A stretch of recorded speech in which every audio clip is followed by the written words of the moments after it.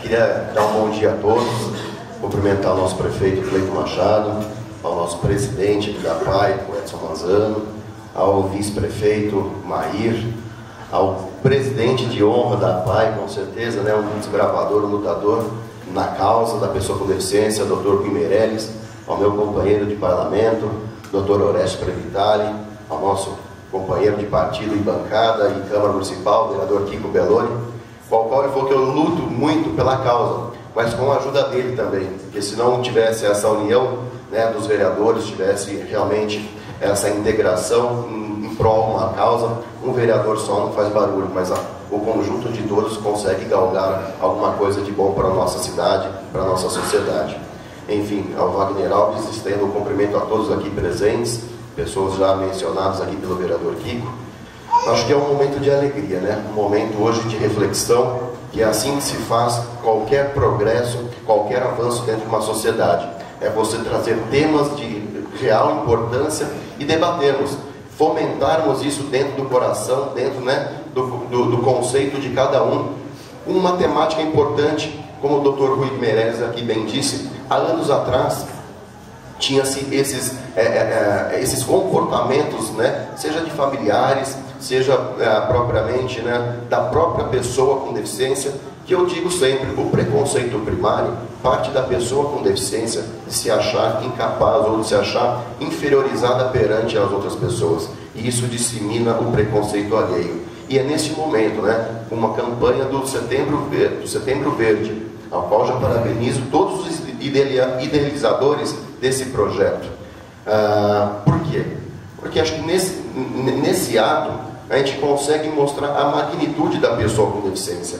Eu não nasci deficiente. Eu sofri um acidente de carro e me tornei paraplégico. E hoje eu sinto na pele o que, que é ser deficiente realmente. E o que é ter essa, essa, essa deficiência e os olhares, às vezes, de uma sociedade preconceituosa. Então, ah, nós temos que levar em números, onde 24% da população, totalizando a quase 46 milhões de brasileiros, detém algum tipo de deficiência. É muita gente. Agora, cabe a pergunta: aonde estão essas pessoas? Em que condições estão essas pessoas? Quais são a, a, a, a inclusão que se estão se fazendo perante a poder público ou até mesmo familiares dessas pessoas? em que condições de vida estão submetidas essas pessoas. Então, acho que essa reflexão nós temos que trazer para debates, debates com a sociedade, para que cada um possa contribuir, cada um possa é, ter um, um, um, acho que um conceito predestinado e combater e quebrar esse paradigma do preconceito. Hoje aqui nós temos vários alunos da PAI que estão com uma camiseta que tem uma frase muito importante fala que a pessoa com deficiência quebra a cultura da, da indiferença. O que, que é a cultura? A cultura do preconceito que nós queremos? Não, nós queremos a cultura do respeito ao próximo, do amor ao cidadão, do realmente fazer com que as pessoas com deficiência tenham garantido não só o acesso à cultura, doutor Rui, não só o acesso ao esporte, mas sim o seu exercício pleno de cidadania. Porque o exercício pleno da cidadania, o artigo 5 da Constituição, do direito de ir e vir, isso é prerrogativa básica de todo ser humano. Quando se trata de vida, a pessoa com deficiência, ela ri, ela chora, ela sente amor, ela sente dor. Então, nessa, nessas condições, nós estamos tratando de pessoas de pessoas humanas que têm todo um sentimento e esse exercício da cidadania. Eu tive a honra também e o privilégio, com o apoio dos demais vereadores, de, apoio, de aprovar um projeto chamado Maio Amarelo. O que, que é o Maio Amarelo? Ele vem conscientizar sobre os acidentes de trânsito.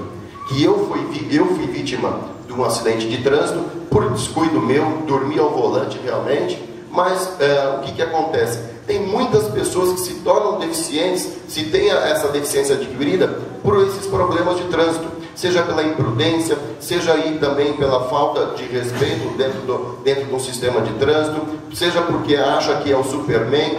Então, acho que toda a oportunidade que nós temos de levar essa conscientização para dentro da população é oportuna. Aproveite também um outro projeto que chama Junho Vermelho, que cabe a questão da conscientização de doação de sangue.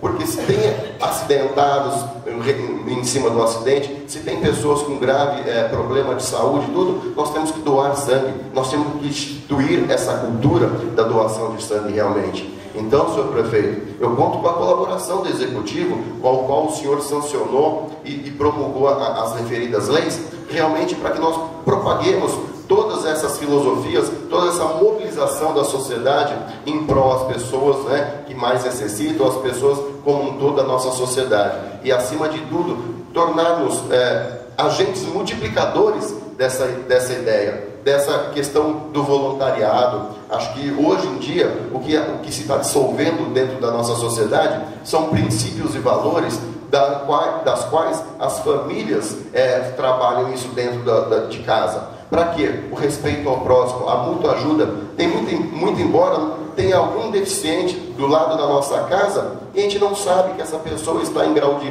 vulnerabilidade, está precisando de uma ajuda e esse pai, essa mãe às vezes se sente envergonhado em vir pedir ajuda. Então nós temos que estar atentos à nossa sociedade, realmente a cada dia buscando fazer o bem sem olhar a quem. Deficiência não é sinônimo de incapacidade, sim de superação e muito respeito. Meu muito obrigado, um beijo no coração de todos.